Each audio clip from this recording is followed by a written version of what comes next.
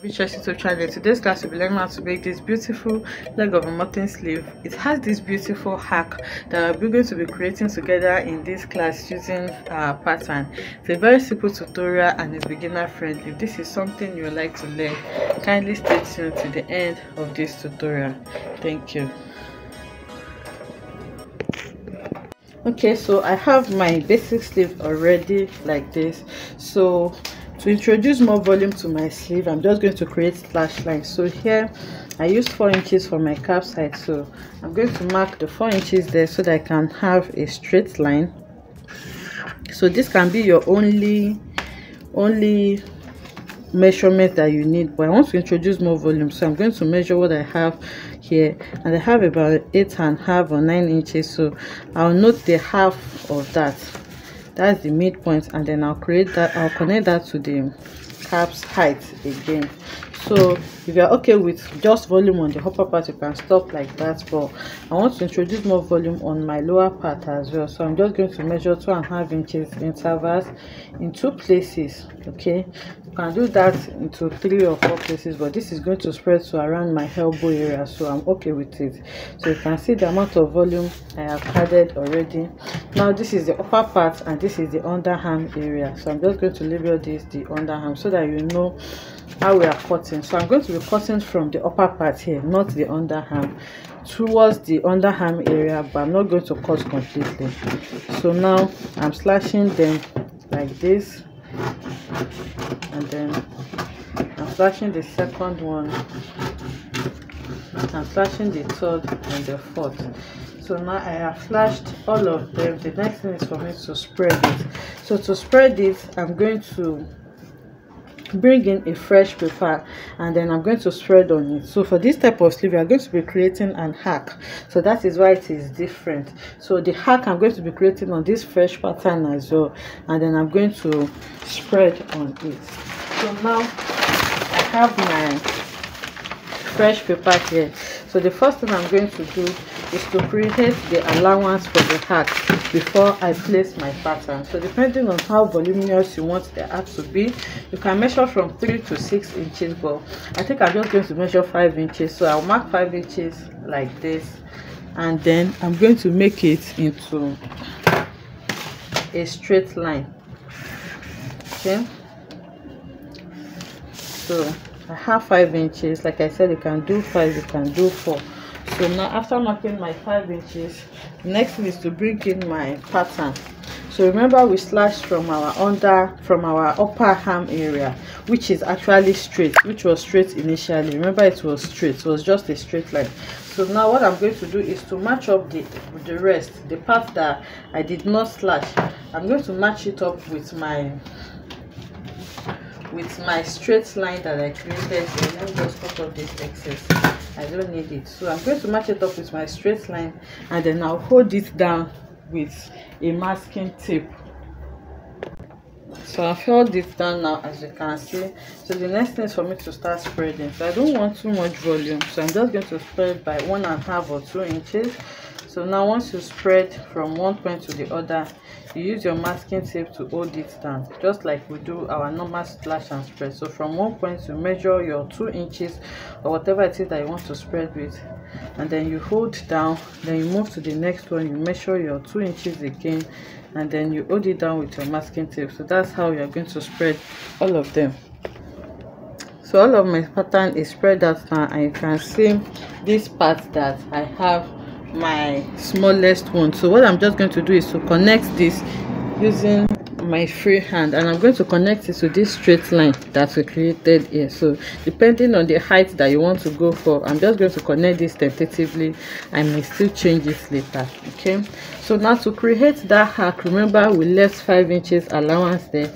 So from here again i'm going to be connecting in a in a circular form like you're creating a arc basically all the way to where my my slash line stops which is here. So here now using my free hand again i'm connecting like this okay? Okay to create that arc that height that you want. You can use a curve for this i'm just using my friend so if you're not okay with what you have here you can also increase it from this point all the way to connect with your arc so that you can have a smooth curve so you can see what i have here. So basically this is how you're going to create that arc that you see on the sleeve. So after creating it the next thing i'm going to do now is to bring in my scissors and then cut out this new shape that i have. So after cutting out the new shape i'm going to go ahead now and cut it out on my fabric so when you're cutting out on your fabric. You may need to add interfacing to your fabric especially if the fabric you are working with is a soft fabric and you want your art to really stand on its own. So now i'm going to cut this out. This pattern does not have allowance so i'm going to add my necessary allowances on the two sides because remember we are going to have two pieces for each of the sleeves now and we need to join it back together. So this is the shape that i have for my sleeve now. I'll go ahead and cut it out on my fabric. So i've cut this out on my fabric and i added a few allowances on this side. So now the next thing now is to sew them together. So before i remove my pattern i'm going to notch the places that i will need to to gather. So you can actually gather all around from the armhole eh, eh, from the under arm area. So this is where the armhole line stop. So you can notch that part. Then you're going to gather it up to where we have our straight line which is this place. So i'm going to notch that part as well.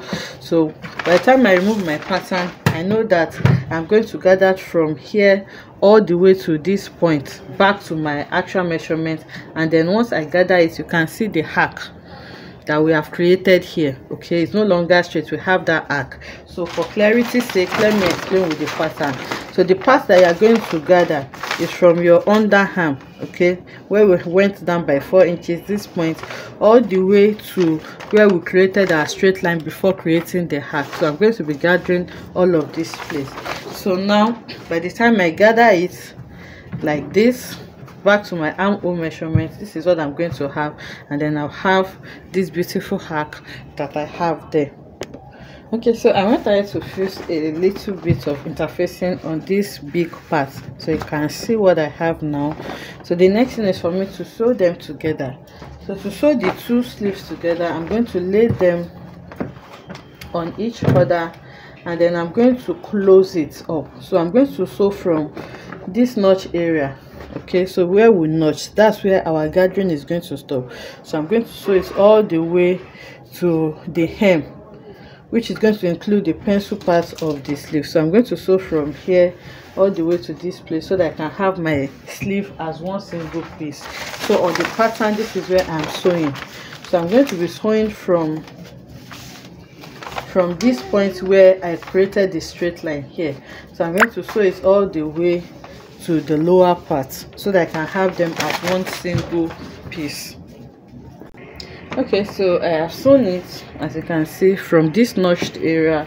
I just sew it all around to the hem and then I went there to hem the lower part so that it can be neatly finished. So turning it out now this is what I'm going to have and our hat is going to be even more obvious now. So I have turned it out and this is what it looks like.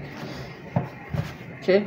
So you can see what it looks like. So if you're going to be adding lining to this. You cut the lining the same way at this point you use them to turn out each other so that you can cover up your interfacing. So you can see the beautiful arc that we have there.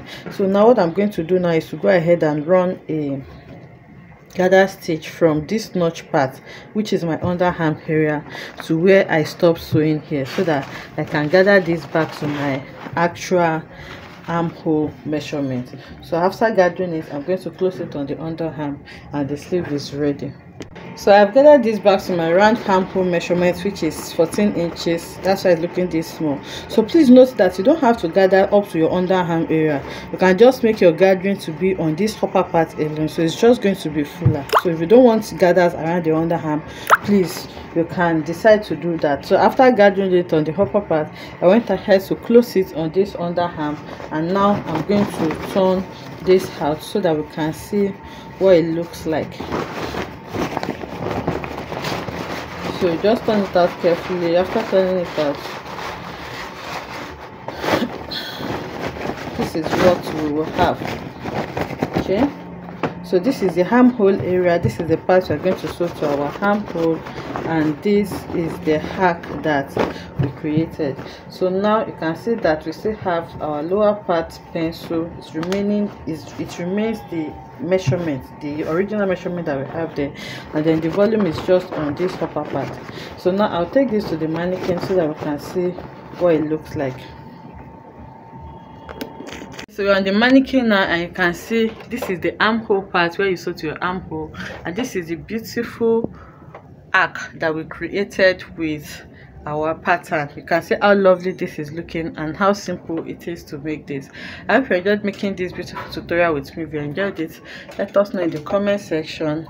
Like comment and subscribe to our channel and i'll see you in the next one. So this is the pencil part of the sleeve as well. This is what the full view of the sleeve look like.